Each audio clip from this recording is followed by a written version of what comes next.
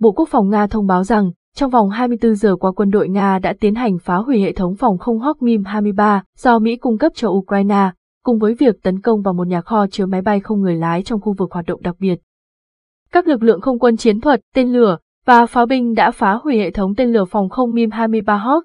đồng thời tấn công vào một nhà kho chứa máy bay không người lái của Lữ đoàn phòng thủ mặt đất số 113 và phá hủy nhiều thiết bị quân sự khác của lực lượng vũ trang Ukraine tại 115 khu vực, thông báo từ Bộ Quốc phòng Nga cho biết. Theo thông tin từ bộ này, trong ngày 24 tháng 4, hệ thống phòng không của Nga đã hạ gục một tên lửa chiến thuật Tochka-U của Ukraine, 6 tên lửa HIMARS, 4 quả bom dẫn đường Hammers do Pháp sản xuất, và 104 máy bay không người lái. Đây được biết là lần đầu tiên Bộ Quốc phòng Nga xác nhận việc phá hủy hệ thống MiM-23 Hawk kể từ khi chúng được Ukraine triển khai.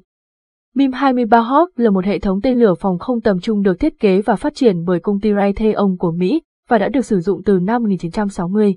Hệ thống này đã trải qua 3 giai đoạn nâng cấp. Một đội hình MiM-23 Hawk giai đoạn 3 điển hình bao gồm một radar MPQ-50, một radar giám sát sóng liên tục AN MPQ-62, hai radar chiếu sáng AN PQ-61, một trung tâm phân phối lửa, một máy thu phát mục tiêu và 6 bệ phóng với 18 tên lửa. Hệ thống MiM-23 Hawk ban đầu được thiết kế để tấn công máy bay, sau đó được nâng cấp để đánh chặn tên lửa. Các phiên bản đầu tiên của hệ thống phòng không này có tầm bắn 25 km và độ cao lên tới 14 km. Sau khi được hiện đại hóa, phạm vi đánh chặn mục tiêu tối đa đã được tăng lên 40 km, với độ cao đánh chặn tối đa là 18 km.